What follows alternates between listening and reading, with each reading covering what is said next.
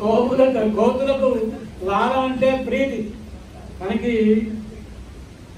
ఉత్తరాఖండ్ చివరికి వచ్చిన తర్వాత వానర వీరులందరూ వస్తున్నారు. మధ్యలో అసలు వాళ్ళ యొక్క మధువనాన్ని భంజించి వస్తున్నారనే వార్త తెలిసి తప్పకుండా ఆంజనేయుడు పని చేసుకుని వచ్చి ఉంటాడు. లేకపోతే మధ్యలో ఆగుతారా?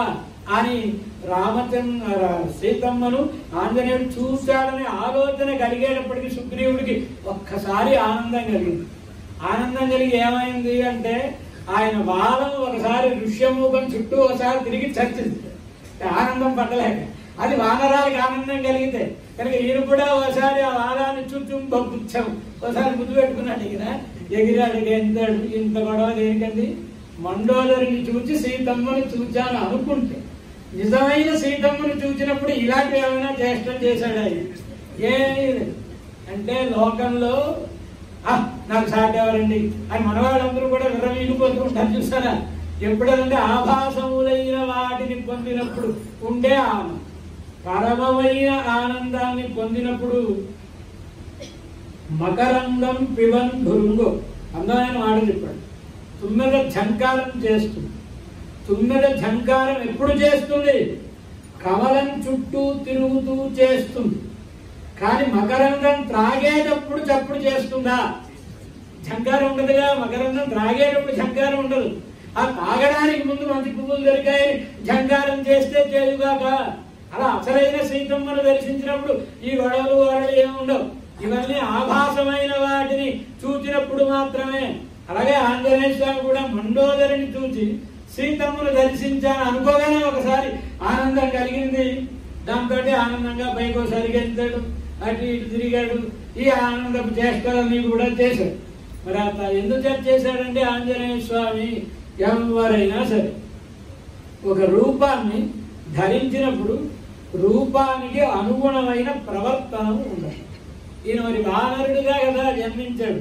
కనుక నిదర్శయం స్వాం ప్రకృతి కపీన దీన్ని వదిలేండి నృసింహస్వామి ఉన్నాడా నృసింహస్వామిని వర్ణిస్తూ పురత్తాడు సుందరబాహుస్తవంలో ఒక శ్లోకంలో అనుగ్రహిస్తూ నఖర గజగ ప్రధిక్రథిత దైత్య వక్షస్థలి సముత్తరుచిరచ్చటాచ్చురిత బింబితం సంబభు విలోక్య ఋషిత పునః ప్రతిమృగేంద్ర శంకావశాత్ యయేష నరకేసరి సహ్య దృశ్యతే సుందర తాత్పర్యం. ఏమిటి రంపాల్లో ఉండే వాడిగా ఉండే గోళ్ళతో హిరణ్యకశిపుడిని చీల్చి పారేసిన సింహస్వామి వాడి వక్షస్థలాన్ని చీల్చినప్పుడు నిష్క్యూత ఆసు స్రవంతి భరిత దశ దిశాదర్శిత చెప్తారు కదా దేశకుడు కనుక వాడి వక్షస్థలంలోంచి ఉత్తుంగంగా రక్తం ప్రవహిస్తుంది. ఆ రక్తంలో నరసింహస్వామి ప్రతిబింబం కనిపిస్తుంది. ఆ ప్రతిబింబాన్ని చూడగానే ఒకసారి దాని మీద కూడా ఉడికిపోతున్నట్టే అంటే వేషం వేసుకున్నవాడు ఈయన. ఈయన పరమాత్మ నీకు తెలియదా ఇది వేషం అని మామూలు అది నిజంగా ప్రతిబింబం. ఈయన ప్రతిబింబమే కదా అదేమో సింహమా? కానీ ప్రతి మృగేంద్ర శంకావశ మరొక సింహమేమో అని ఒకసారి ఉరకపోతున్నాడు. ఎందుకు ఉరకపోతున్నాడు అంటే మరి నేను సింహ వేషం వేసుకున్నప్పుడు వేషం వేసాడు కానీ ఆ లక్షణాలు ఏం లేవండి అనేస్తాడేమో వీడు కనుక ఎక్కడో ఒక చోటైనా ఆ భంగిమను చూపించాలి కనుక ఒకసారి చూపిస్తాడు ఆయన. అలా ఆంజనేయ స్వామి కూడా మరి నిదర్శయం మరి మహా మేధావి అయినటువంటి వాడు కదండి నిదర్శయం. స్వాం ప్రకృతిం కపీరాం అని తన యొక్క ఆనంద ప్రకృతిని చూపించడం కోసం అన్నట్టుగా ఆనందాన్ని అభినయిస్తాడు ఆయన. ఇంతవరకు మనం పారాయణం చేసిన భాగం.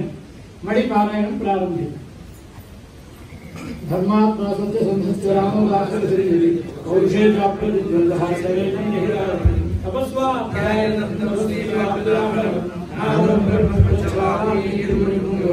श्री रघुनंदन भरत ब्रह्मणे नमः